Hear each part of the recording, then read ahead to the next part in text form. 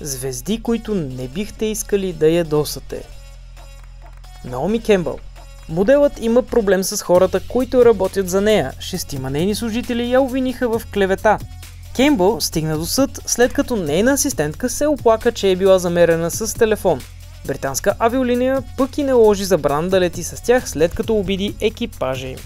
Мел Гибсън в повечето роли на Гибсън той изглежда доста мил и добър човек, но в реалния живот той има проблеми с гнева. През годините той е бил обвиняван в сексизъм, расизъм, хомофобия и домашно насилие. Алек Болдуин Болдуин мрази адски много папараците, но е показвал негативно отношение и към авторитетни журналисти. Езикът му е остър, като веднъж той каза на журналист на Нью Йорк Пост, че се надява да умре.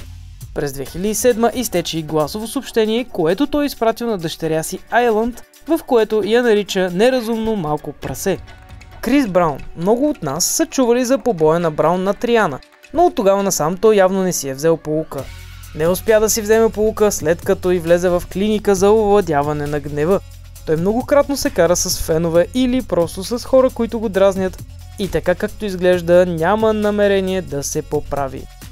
Ръсел Кроу Както Алек Болдуин, така и Ръсел Кроу има проблем с журналистите. Актьорът явно не може да си държи езика зад зъбите и в момента в който се ядосва той си го казва, независимо дали има камери около него.